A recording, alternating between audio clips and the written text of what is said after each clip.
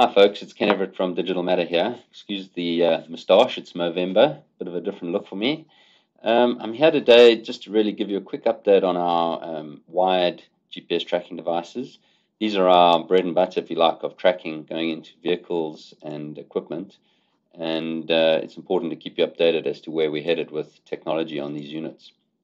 Um, as usual, bit of a disclaimer some of this stuff contains quite forward looking statements. Um, but really where we are today is a lot of it is actually already going into production. Um, so just a quick historical update on where we've come from, right? The, the idea with our, our four uh, wired or powered devices that we've got in the range is to try and cater for different use cases based on um, the cost of the unit through to the, uh, the features and the, uh, I guess, complexity of installation. Um, and I think we've managed to, to have a good range from that perspective and we're continuing to update it. So historically, we've got the Bolt device, which is really our lowest cost, simplest, easy to install product that plugs into the OBD2 port on uh, any uh, light vehicle and can be used for, for fleet management. Um, the Dart 2 has been one of our biggest sellers. It's really a, a low cost wired product that features a number of digital inputs and outputs, things like remote demobilization, and driver ID options. And that's a great um, product for fleet management and for tracking in vehicles. The G62 has historically been excellent for equipment tracking. That's really our rugged product with a very rugged IP67 housing, great for going on to equipment and includes uh, things like inputs and outputs, remote immobilization, and driver ID, and a bit more on some of the new stuff we've added there in later slides. And then right across on the right hand side in this table is the G120, which is our big daddy, if you like, of fleet tracking. And it's kind of feature packed in terms of lots of IOs. Um, and I guess one of its biggest differentiators is it's got the Bluetooth gateway on there, so it can talk to Bluetooth tags and Bluetooth sensors. And it also has an optional Iridium satellite interface so that you can uh, attach Iridium satellite modems to it to give you out of coverage tracking in use cases where um, you absolutely need to know where the vehicles are, where the staff are at any point in time. Um, so that's the current lineup, and we'll get on to what's changing uh, shortly. So the, the next generation products, one of the design considerations that we've taken to place, and one of the main ones really as to why we were even looking at um, revising the design of the products, was availability. So the global component shortage has really been causing grief across the whole supply chain. With these new versions, one of the things we've been able to do is design the product from the outset, knowing um, that we can source certain components, where some of the components in the current um, product designs have either been end of life or just really difficult to get for some reason. So one of the, gr- the great things about doing the revision of the product is that we have pre-ordered a lot of the component stock that we need on the new product. So um, we're going to have a more secure stock supply going into 2022, which is good. Then, obviously, the other opportunity uh, thing about the, the, redesign is the opportunity to introduce and update the, the features on the device. And that's really, as far as the wired product goes, is more of an evolutionary uh, update as opposed to the battery powered stuff. Um, you might have watched the, my previous video on our battery powered roadmap, where we're really making some some extraordinary and revolutionary steps forward in terms of you know, five times battery life. So the, the innovation on the wired products is kind of less revolutionary, if you like, but it's it remains our focus to keep updating the technologies that we're using the best possible um, technology on the devices. And that leads into the third point, which is uh, designing the products to outperform our competition. So our, our focus has always been on the engineering that goes into our products. The focus is there on performance and reliability is super important to us to make sure that the products uh, work well in the field and require the least amount of maintenance. One of the, um, well, let's just have a deep dive into some of these features. So one of the things we've done is on the 4G product, uh, updated the, the CAT-M1 and NB-IoT uh, modem option that we use on there. Um, we spent quite a lot of time working with this um, and evaluating various module suppliers and settled on uh, the Nordic NRF 9160, which is we're using in our battery powered product, and we've also then migrated to use that in in the new wired devices as well on the 4G side of things. It's got fantastic support for LTE-M or CAT-M1 and NB-IoT. The same module can do both, and uh, it will seamlessly switch between those networks, which we've done some great testing with roaming SIMs across Europe and getting fantastic performance roaming across the different networks. Uh, what we're seeing is that the LTE-M and NB-IoT networks are rolling out uh, all the time around the world. So uh, coverage is becoming much less and less of an issue. And the technology allows us to reduce data usage and ongoing costs, but more importantly, use lower energy, right? So what you'll find is that the new devices will run for much longer on their battery backup um, if that's required. So um, things like trailer tracking, where you may have the device powered uh, for short periods of time, you need to charge up the battery and then have it operate uh, off the battery, are uh, a lot more feasible.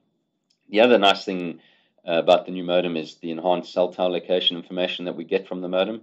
So we're getting the serving cell plus neighboring cell timing data, and this can be used for a fallback location if the GNSS for some reason can't get a fix.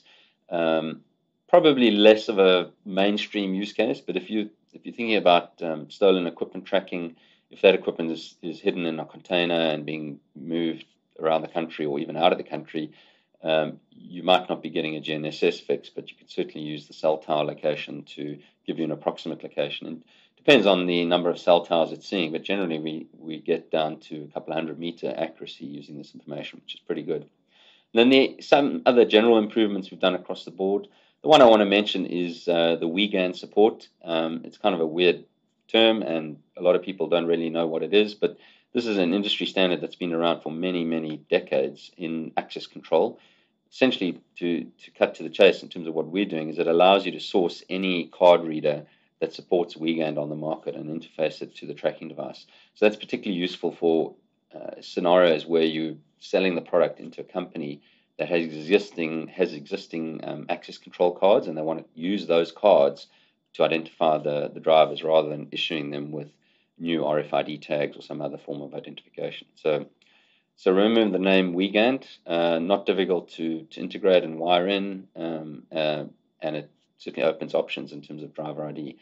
Um, we've also squeezed some extra IOs onto most of the, the wired devices, uh, more on each one in particular coming up and we've introduced the backup battery on the Bolt 2, ready to handle situations where if somebody inadvertently or deliberately unplugs the unit, that the device has power to obviously send an alert and send a notification to the system that it's been un- unplugged and actually continue tracking while it's uh, not plugged in. So cutting to uh, the chase, we talk dive into the, the next gen product. So the Bolt has migrated to what we're calling the Bolt 2. Um, actually in production already, uh, available today only in an LTE-M NB-IoT version. Um, it's the plug and play OBD2, OBD2 device that plugs in very easily. And really, the bottom line here is it's uh, it's a low cost unit with hopefully a zero dollar installation cost. Really simple to plug in and get going. You can get splitter cables and extended cables if you really want to uh, hide the unit inside the dash using that.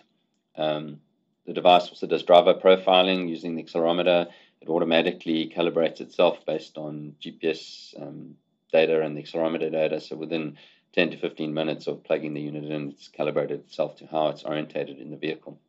So the big addition there is the internal rechargeable backup battery. As I've said, great to be notified if the device is unplugged or tampered. The, the other important thing to, to note here, and it's probably not something you'll notice until you get start using it in like really uh, testing conditions, is that we've we've managed to increase the, the GNSS patch antenna size on the device and the ground plane around it. What that does is it just means the, the RF performance on the, the GPS GNSS is, is even better than the previous version, which is great, right? Better performance, that's what we, we want to do. And then the cell tower location data is there if needed. The Dart 2 is now migrated to the Dart 3. There's both 2G and um, LTE-M CAT-M1 NB-IoT versions uh, coming. Um, the Dart 3 4G is just gone to production now. Uh, 2G will be coming uh, next year, early next year. Um, so really the same great performance and features as the Dart 2.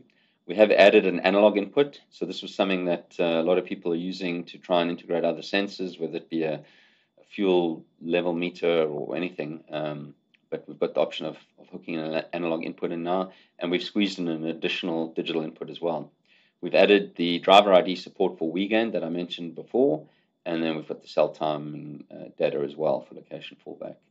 So really a, a, great unit at a good good price point um, that is fully featured for um, fleet management and it's um, uh, excellent driver ID and uh, driver behavior in there as well. So generally, the we feel the Dart is is going to be one of our biggest selling wired devices um, because of its great functionality at a good price point.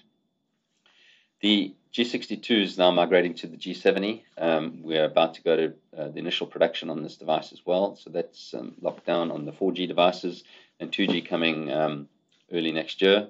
So the great same, same great performance and ruggedness of the G62 uh, with an additional analog input and a digital input on there. So you can just you can do more with the device, which is obviously important. And we've added um, driver ID support for more driver ID options on there. So Wiegand and using our RFID fobs uh, with our reader if, if that's what you want. And obviously the cell tower data on the 4G unit as well. Um, great unit for tracking equipment uh, where you need something that's properly rugged and waterproof. Um, a good option. The G120 at this stage, um, we've just keep going with the current design. Um, we're busy reviewing what our options are around uh, next version of the G120, um, but we've got production plan going into 2022 around the existing product. Um, really, this is the, the big daddy of the range, uh, a lot more digital inputs and outputs, um, including RS232 that we can use for our Iridium Edge module, um, driver ID behavior, and it's got a built-in buzzer as well. Um, so a good product for, I guess, high-end uh, fleet management use cases. This is a great summary um, that Shay, our marketing directors, put together across the range. Um, I'm not going to talk to this too much as I've talked to most of these things already, but um, I'll leave that up there for just a little while so you can uh, see it. And that um, that comparison table is available from any one of your Digital Matter sales team if you'd like to get it from them. Um, So really, in conclusion, uh, where we're at in terms of the roadmap is a great evolution of our wired devices with more to come. So we are working on a new device to tackle some of the IoT sensor side of things, which uh, would be able to be externally powered, but more more information on that shortly. Um, in conclusion, I'd also just like to add that you know the supply chain woes and problems that we're facing are continuing. Um, at this stage, it really only looks like we're hopefully going to get out of this shortage scenario towards the end of next year, even. So, um, right now, we're doing a lot to plan around that. Uh, what we found is PCB lead times have pushed out to over 12 weeks just for the, the bare PCBs. Uh, the components that we've ordered, um, things change on a weekly basis, and including being told that what we've ordered we're not actually going to be getting and we'll only get part of it. And of course, prices just increased across the board, not only on components, but also on things like shipping and actual manufacturing from the Digital Matter side, you know, we've taken this on uh, about nine months ago, in fact, and have dedicated staff to just managing our materials and resource planning, uh, making sure we forecast. The sales teams have forecast a long time ago, uh, a year and more ahead, and we've put in um, component orders for 2022. Um, we're busy. In fact, I just released some purchase orders the other day for product to be delivered in 2023. Can you believe it? So we're doing our best to try and make sure we can get stock, make stock, and get stock to you. But I really, really urge you and encourage you to get your orders in with us. So if you are able to, forecast what you're going to be needing for 22 and then get an order in with us or orders in with us to get in the queue. Um, it, it really is um, a difficult situation to be managing at the moment. So uh, I urge you to chat to your Digital Matter sales representative and work with us to help you get stock. Uh, we have forecast a lot of stock. We have got a lot coming, but um, I really urge you to, to keep talking with us to, to make sure you can get your share of that. Um, so in conclusion, thanks for listening. Uh, we've got some good stuff going on. Um, I'm going to be doing a, a, video shortly on our LoRaWAN range as well. Um, but yeah, thanks very much for listening. Cheers.